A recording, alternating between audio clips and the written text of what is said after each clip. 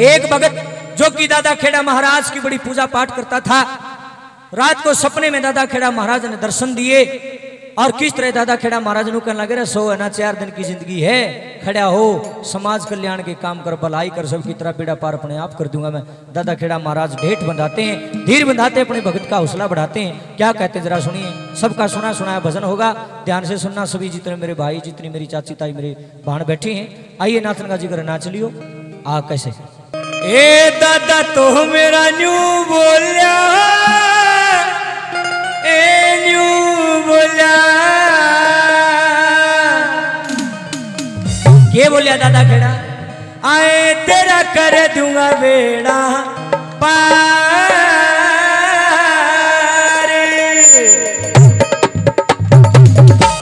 के दादा खेड़ा न्यू बोलिया न्यू बोलिया।